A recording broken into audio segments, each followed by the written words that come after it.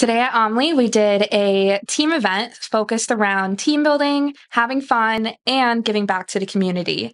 We partnered with Taking Flight to do their Smile Kits program, where teams got to participate in various challenges to earn materials that got to go into the kits that were then donated to a local organization. At Omlie, we believe in every voice matters. So we as a team selected which organization the kits were going to be donated to, and we selected Women Against Abuse.